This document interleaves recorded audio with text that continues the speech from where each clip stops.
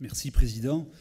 Débat d'orientation budgétaire assez intéressant parce que qu'on soit de la majorité des oppositions ou des non-inscrits, c'est quand même des, des satisfaits qui sont lancés au programme CAP 300 000 habitants que notre majorité a lancé. Je voudrais réagir et, rebondir sur ce qu'a dit Régis sur le numérique et surtout l'abonder, parce que nos territoires ruraux euh, ont l'impression de souffrir, euh, de ne pas voir le numérique avancer aussi vite que ce qu'ils souhaiteraient. Il y a quand même euh, un état de fait qu'il faut préciser. Les opérateurs, et je ne vais pas les citer, ont, la volonté d'investir sur les zones urbaines denses, l'agglo de Rodez, la commune de Millau, et ils investissent, mais quand même à leur rythme. Hein. tout n'arrive pas, tout n'arrive pas tout de suite et à fond, plein débit. Euh, mais nos concitoyens qui ne sont pas sur ces territoires-là ont l'impression que cela traîne, que cela va pas assez vite.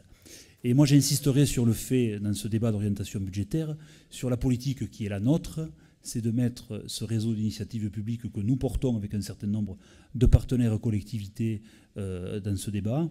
Euh, nous avons la volonté d'aller vite sur le très haut débit. C'est un impératif d'attractivité et c'est important de le saluer. Donc Régis, nous souscrivons ta démarche, nous souscrivons à ton propos, mais il faut rappeler que ça fait quand même partie d'une volonté politique de la majorité départementale et, de vous autres quand vous souhaitez vous y associer. Ça fait partie du consensus numérique pour l'Aveyron.